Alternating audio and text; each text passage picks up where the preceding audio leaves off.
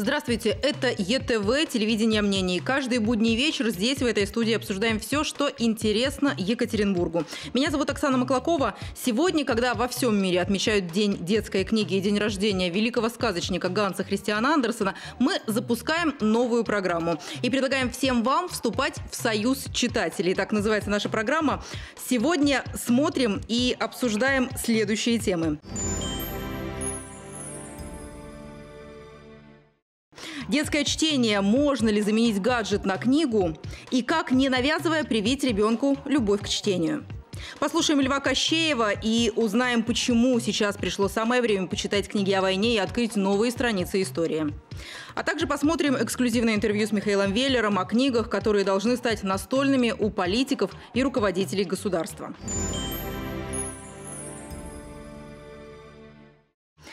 Эксклюзивное интервью с одним из самых тиражных писателей, одним из самых ярких думателей современности, так Михаил Иосифович Веллер называет сам себя, смотрите во второй половине нашей программы. Сейчас к теме нашей сегодняшней дискуссии.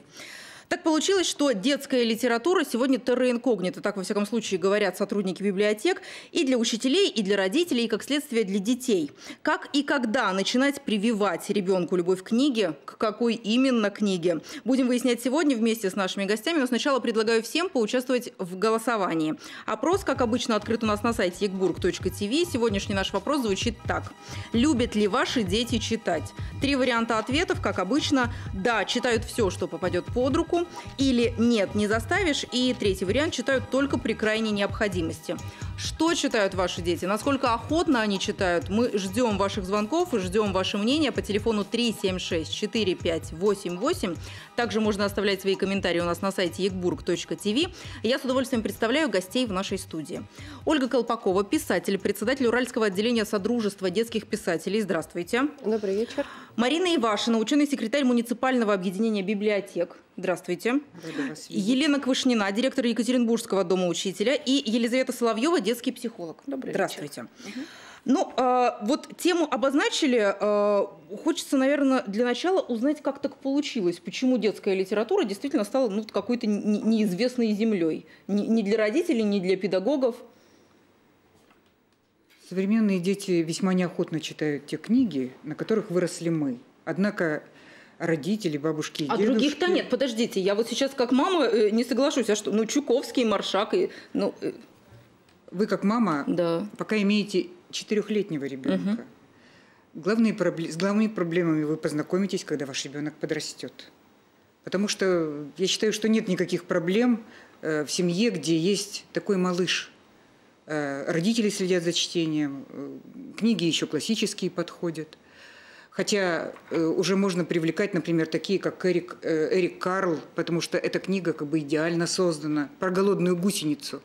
Читает угу. весь мир, но русские дети плохо знают эту книжку. Там, где рассказывается о таинстве рождения бабочки, и в то же время есть дырочка, куда можно пальчиком прокручивать э, то есть э, э, мелкая моторика, развивается мелкая угу. моторика, ребенок угу. читает, узнает тайну и в то же время развивает мелкую моторику. То есть книжки вот с мелкой моторикой для малышей. Для малышей проблем с какого нет, возраста нет. проблемы начинаются тогда? Э, проблемы начинаются с подросткового возраста. Угу. Вот эти дети уже, уже даже и в начальной школе, наверное, волшебники Подождите, изумрудного но, города а, не станут с таким удовольствием читать, как читали наши дети. Угу. Им уже нужна, э, даже, может быть, при этом сюжете нужна другая динамика, другой стиль. Это э, должны быть книги более но дети подросткового возраста не берутся из ниоткуда сами по себе. Они вырастают вот из тех детей, которые малышами ну, уже какой-то получили читательский опыт и или полюбили, или не полюбили. Вот у меня вопрос э, к вам, Елизавета. Как сделать так, чтобы ребенок не отбить у него желание, чтобы он не читал из-под палки? Тебе задали, ты должен за каникулы прочитать 33 книги. Ну, я думаю, что все начинается с раннего детства, и, конечно же, важен опыт родителей. Э, я думаю, известный факт, те семьи, где родители читают, читают много и с интересом, там и дети очень часто любят читать. Ну, это, вот, э, это всегда все говорят, и да. ну, вот это так...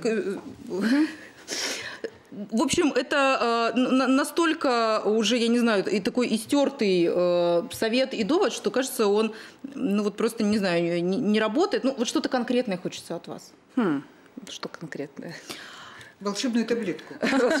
Каждый ведь хочет волшебную таблетку от врача получить. Таблетки На самом деле нет универсальных нет. рецептов. Именно так. Дело в том, что действительно либо родитель вместе с ребенком читает, заинтересовывает, подбирает книжку, соответствующую возрасту. Вот то, о чем коллега у меня говорила. Сейчас у родителей зачастую бывают амбиции, и их амбиции как раз-таки будут мешать ребенку любить книгу. В Яркий смысле, тому когда пример. книжка оказывается умнее ребенка? Да, ребенку 4 года, а мама говорит, нам гуси-лебеди уже скучно читать, мы уже будем, наверное, что-нибудь этакое из Пушкина, типа там Евгения Онегина в 4 мы будем пробовать. Конечно, ребенку не будет интересно. Это не соответствует возрасту и потребностям. Это лишь мамины амбиции. Вот отбиваем желание читать. Есть предложение э, современной детской литературы, российской детской литературы, вот по всем возрастам, начиная там, ну вот с какого, с трехлетнего, с четырехлетнего возраста. Вообще мы, мы говорим о каком возрасте, с какого возраста нужно начинать ребенка знакомить с книгой? С рождения. Рождение, да, тут, в общем, Вот, вот мы при- при- пришли из роддома и начали первым делом знакомить с книгой. Нет, ну лучше еще в роддоме. Да, то есть не надо откладывать. Конечно. Тем более время побольше в роддоме, чем дома, когда вернетесь. И родители, и мама часто э, получает первый читательский билет, уже выходя из роддома. И в подарок первые детские книжки-потешки. То есть ребенок начинает воспринимать э, то, что читает мать. Есть такие находясь- программы, есть такие акции Конечно. библиотек. Называется материнское чтение. Это уже ну, достаточно давно известно. Я предлагаю посмотреть графику э, о том, какие книги, э, каких жанров предпочитают э, читать дети. Зрители пишут, детей нужно увлекать приключениями, например, Дюма, Три мушкетера или Томом Сойером. Ну вот э, в- тут опять, наверное, вопрос возраста. В каком возрасте, в, в- да. в каком возрасте? Современная литература. Мы э, хотели поговорить про ассортимент предложения на современном э, рынке детской литературы. Она предлагает вот от и до что, для какого возраста, что Для именно? любого возраста предлагает на любой вкус все, что желаете. Если бы лет пять назад можно было сказать, что есть проблема у нас с детской литературой, и книга не доходит до читателя, сейчас писатели на это пожаловаться не могут. То есть э, выходит очень много, очень разного и очень интересного. Но у меня выборка не совсем такая большая, не, не- очень полная. А я хотела представить лауреатов премии Владислава Петровича Крапивина. Это та премия, которая вручается в Екатеринбурге. И э, литературный Давайте совет, покажем эти жюри, книги, да. покажем их телезрителю, э, что вы принесли с собой.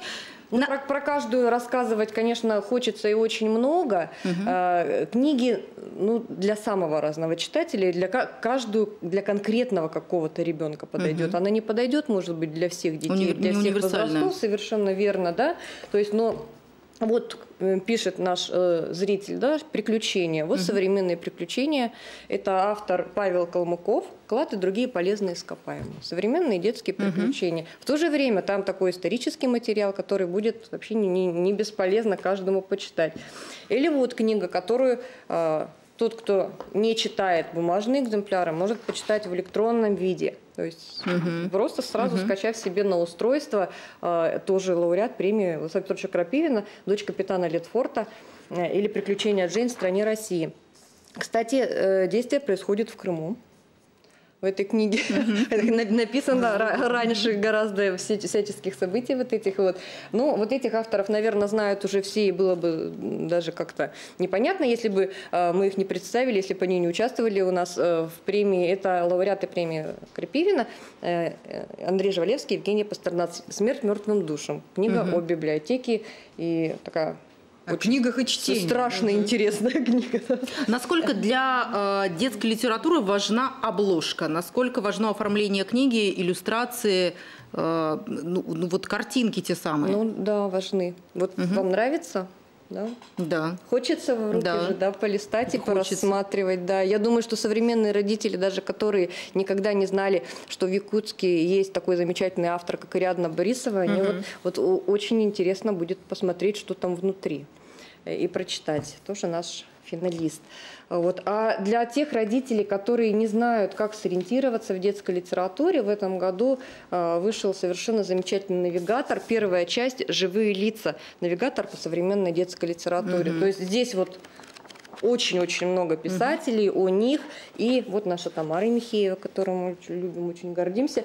И даже расписана очень интересная библиография сделана э, сейчас я долистаю, либо о чем и либо какого возраста. Угу. То есть настолько конкретные рекомендации, да, которые ну, любой родитель может просто взять и тут же начать Для удобства наших телезрителей э, мы несколько интерактивных ссылок, то, что э, до эфира вы присылали, э, опять же, навигаторы в мире детской литературы, несколько полезных сайтов, они у нас э, под анонсом программы на сайте ekburg.tv, их всегда можно будет там найти, посмотреть и, использовать. Елена Сергеевна, вот то, что э, перечисляется, вот это все богатство э, многообразия детской литературы, оно в школе и в школьной программе, или, может быть, в программе внеклассного чтения, находит свое отражение или нет? Там вот осталось все, как э, было десятилетиями.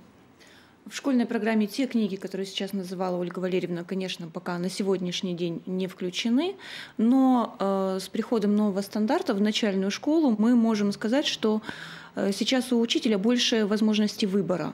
И в начальных классах как раз современная литература уже потихоньку включается в новые учебники. В среднем звене ну, стандарт во всей России придет э, в следующем году в пятый класс.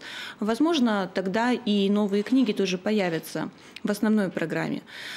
А, на сегодняшний день те учителя, которые следят за литературным процессом и за теми книгами, которые выходят, которые отмечаются премией, они, конечно, используют в своей работе на уроках внеклассного чтения, на открытых уроках чтения. А, э, ну, наверное, это Сложно сказать, что большинство педагогов знают все названные книги, однако мы стараемся делать так, чтобы педагоги узнавали. Угу. Насколько важно, чтобы педагоги узнавали, все-таки кто должен расширять вот этот читательский кругозор э, ребенка, ну, будем говорить, ребенка там младшего школьного возраста, когда он уже попадает к школьным учителям. Это должен делать учитель, это должен делать родитель, это должна делать библиотека. Кто?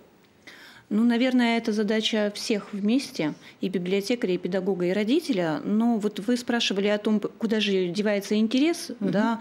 Обычно интерес пропадает после начальных классов, как уже Марина Вячеславовна говорила. И, э, на мой взгляд, думаю, коллеги меня поддержат, может быть, кто-то поспорит, а проблема возникает и в том, что обычно родители курируют своего ребенка и его чтение до конца четвертого класса. В пятом классе уже ослабевает этот контроль родительский, и считается, что ребенок уже научился читать, угу. и он может самостоятельно сделать выбор книги. Но далеко не всегда это так. И э, немалый труд и для самого родителя следить за литературным процессом. Угу. Но если родители этот эту работу берут на себя, то, конечно, это большой плюс в развитии ребенка.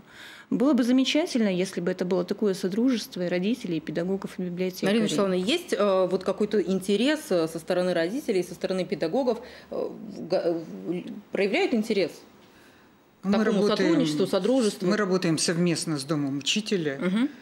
И таким образом находим взаимопонимание вообще, чтобы узнать о том, что читаете, какие книжки есть, нужно вообще-то приходить в библиотеку. Mm-hmm. Не забывайте, что библиотеки до сих пор сохранились, они mm-hmm. есть, и там есть читатели, и есть книги, и именно там можно узнать, какие книги сейчас самые читаемые.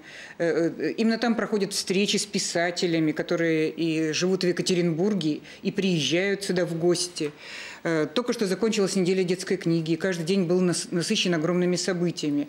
Именно вот в библиотеке э, ребенок находится в гуще литературной жизни. Угу. Как он иначе узнает? Э, это, наоборот, он может рассказать родителю. И некоторые дети и заявляют, догоняй меня. А кто как должен ты... привести ребенка в библиотеку? Мама, школа, кто? А кто угодно может привести. Э, очень хорошо, если приведут родители, но и, и школы приводят там, где они заинтересованы в том, чтобы дети читали. Угу. И школьный библиотекарь, и педагог, и библиотеки детские сейчас полны читателей. Потому что только там можно узнать. Собственно говоря, уже многие ведь поняли, что интеллектуальное развитие, без чтения развитие мышления, развитие эмоциональной сферы без книги не происходит. И поэтому в библиотеку надо идти. Если кто не знает, что читать, там же можно узнать основные рейтинги, какие угу. книг существуют, какие авторы вышли. Все абсолютно новинки. Спасибо большое. Я предлагаю подключить э, главного детского невролога Екатеринбурга к нашему разговору, Алексея Валентиновича Сулимова. Мы сегодня спросили у него, с какого возраста, по его мнению, нужно начинать э, прививать ребенку любовь к чтению. Что думают врачи, что думает невролог по этому поводу, узнаем прямо сейчас. Что читают ваши дети, спрашиваем мы телезрителей. 376 4588. Звоните, рассказывайте. Когда мы говорим о привлечении его именно к следующему этапу, к самому чтению, это не просто восприятие символа, который бы ребенком принимался как за Э, ну, необходимые в этом возрасте. Считаю, что на сегодняшний день приоритетность чтения можем отдавать раннему школьному периоду, когда мозг ребенка формально готов э, к принятию этой информации. Почему? Потому что именно к 7 годам обычно формируется тот альфа-ритм, это специфические ритмы работы мозга, который определяет за состояние нашего мозга в целом. До 7 лет он существует, он там есть масса вариантов чисто возрастных. Поэтому Три момента важно. Готовность мозга, готовность ребенка и желание получать информацию через чтение, ну и, наверное, само окружение.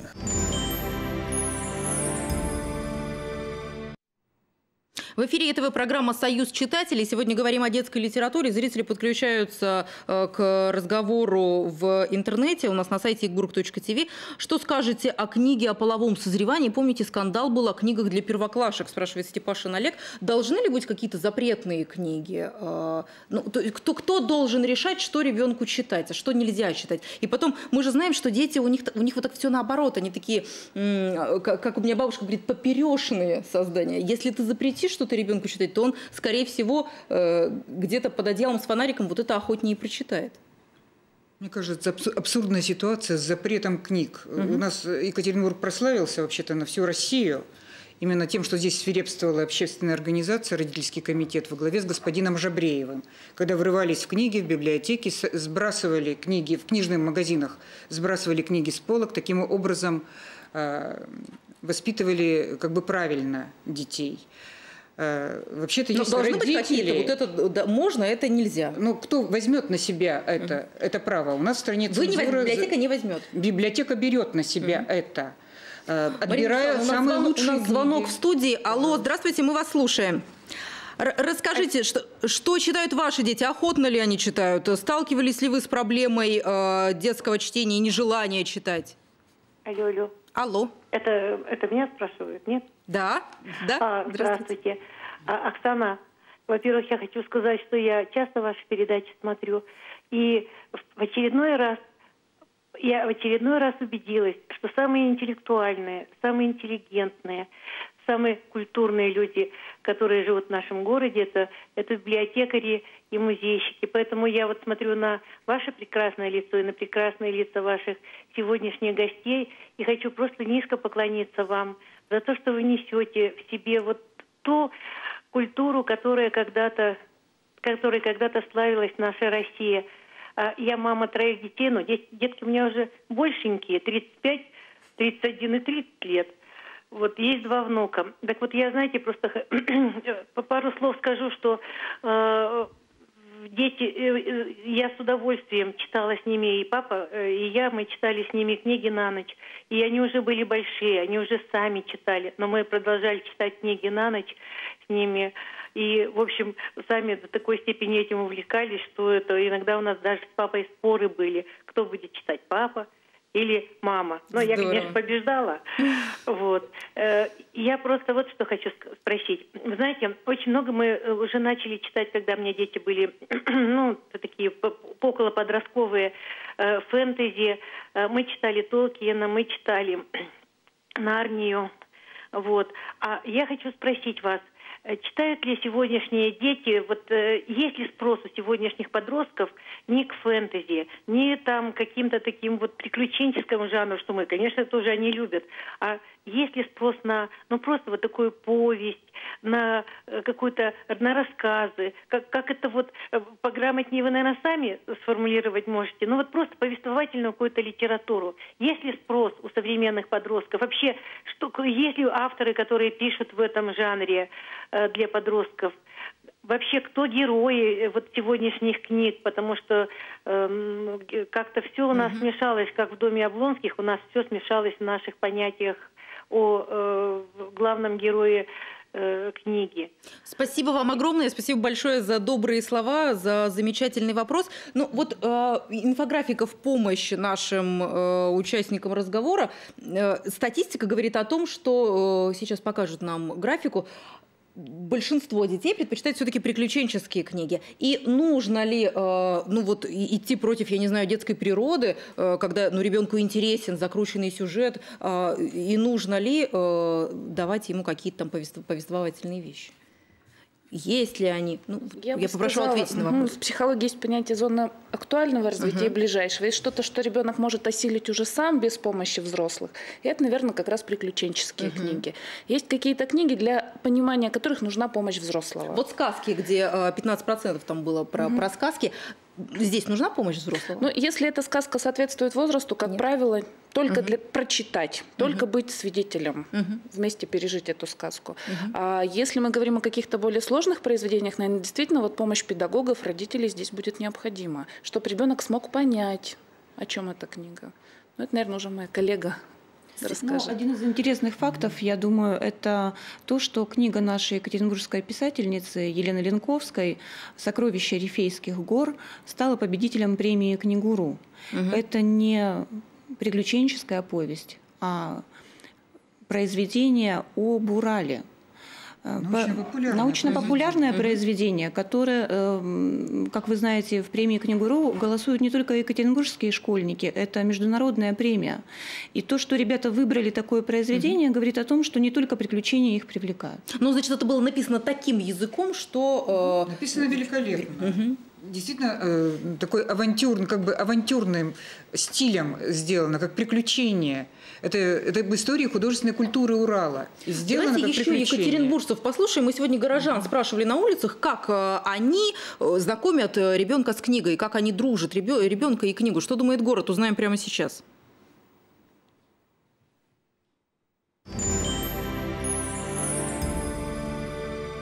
детства нужно детей приучать к чтению, потому что меня в детстве не приучали к чтению. Я книги особо не читал в своей жизни.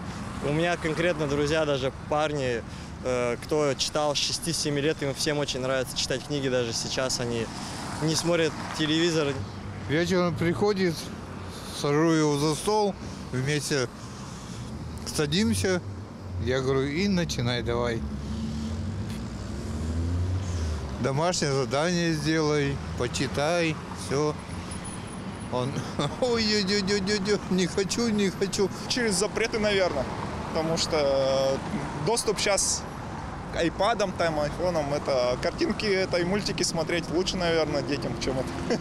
Давать им книги, которые им будут интересны, а не заставлять то, что они хотят. Рассказывать детям то, что а, в книгах очень много интересного. Это новые миры, новые сказки, новые какие-то видения мира этого. Что не только там в компьютере, еще в каких-нибудь играх. Вот, что можно осознать новый мир посредством книг. Ребенка надо мотивировать, например, э, э, за прочтение книги сделать что-то, допустим, ну, разрешить поиграть на компьютере, купить что-нибудь. То есть должна быть мотивация.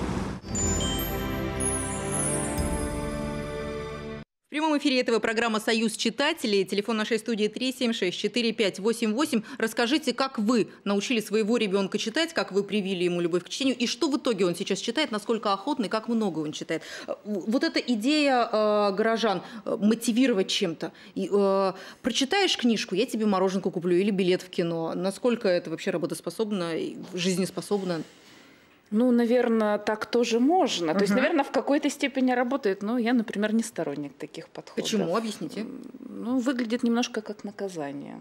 Как наказание. Угу. Как трудная работа, хотя на самом деле чтение это не только труд, но это и увлечение. Это угу. то, что может вызывать много интереса. То есть на, наоборот, это должно быть наградой. Скорее, да. Книжка станет наградой, да. а не, а не э, награда за. А запрет читать вот в нашей, нашей семье всегда было наказанием. Ах, ты провинился, да. значит, ты не будешь Забираю читать книги. целый, целый угу. час. А вот сейчас я у тебя заберу гаджет наказание, я у тебя заберу э, iPhone, iPad, планшет и, и так далее. Расскажите... Э, в разных семьях по-разному новые технологии, они скорее мешают, забирают э, читателя, или они могут стать вот каким-то инструментом в э, руках библиотекаря, педагога, родителя? Это зависит от того, кто находится рядом с ребенком. Угу. Есть педагоги, и родители и библиотекари, которые умеют сделать гаджет своим союзником. А я предлагаю сейчас продемонстрировать угу. нашим зрителям несколько э, ссылок на интернет-ресурсы. Что это за проект? Книжный шкаф поколения Next, о котором вы хотели рассказать. Вместе с Домом учителя, угу. с Еленой Сергеевной мы делаем проект, в котором, э, в котором участвуют и другие города, э, в общем, пять стран 5, 135 э, городов, по-моему, да, присоединились, 500 участников, библиотекарей, педагогов, родителей, э, у которых есть свои питомцы, свои читатели, дети. Э, создали такой проект, когда интернет и интернет-сервисы помогают прочитать книгу более внимательно, более вдумчиво и создать определенные интересные цифровые продукты. Мы говорим с вот детьми эти на их продукты мы сейчас посмотрим языках, здесь на, на их экранах. языке. Угу. Существуют ведь книги на iPad, на различных гаджетах, сделаны профессионально, это очень дорогие программы. А можно сделать простенькие, простенькие продукты с помощью бесплатных сервисов, вставляя в определенные программки, вот эти Google сервисы, вставляя картинку и текст по книгам. И детям это очень нравится. То есть выразить свои читательские впечатления. А вот, пожалуйста, путешествие барона Мюнхгаузена да. на карте. Можно Причем я так понимаю, что эта карта интерактивная, можно кликать на какие-то значки, и да, там что-то будет можно, появляться. например, э, кликнуть на значок «Россия». Где угу. был барон Мюнхгаузен? Вот. В Монголии. Ага. Э, Давайте в кликнем на Монголию. Что он там делал? Пожалуйста. Он там куропаток э, А давайте ловил. посмотрим, что он в России делал. Давайте посмотрим, Кто что он помнит, делал в России. Что он делал в России? Сейчас нам поможет режиссер, мы посмотрим, что же он в России делал, барон вот. Мюнхгаузен. Вон значок. Угу. Удивительная охота. И картинка, где он, видимо, себя э, за волосы вытягивал. Да, вот Россия где он привязал На коне, себя колышек, угу. помните, привязал угу. себе. Угу. А если кликнуть еще, то есть э, кликнуть на главу, то можно и фрагмент из главы узнать, где он привязался за колышек, а потом э, э, проснулся на, на крыше дома. Это дети сделали? Это, это дети сделали. То есть э, можно э, составить карту путешествия, скажем, Тома Сойера и Геклибери Фина угу. по Миссисипи. А можно ленту времени, э, где проследить хронологию какого-то события, угу. скажем, по Жюль Верну и так далее. Можно сделать книгу в 3D, можно сделать инфографику, можно сделать много всего. Это игра. Для ребенка это игра и в то же время выражение своих читательских впечатлений. Это большой проект, к которому присоединяется и присоединяется все больше людей. Еще не поздно, он еще будет длиться до октября. Поэтому бегом в библиотеки и присоединяйтесь к этому проекту. Или, и в этом участвуют школьные мне библиотекари. кажется, большинство детей, если читают что-то с гаджета, то это э, посты в социальных сетях или какие-нибудь твиты. Ну вот э, такое есть впечатление, нет?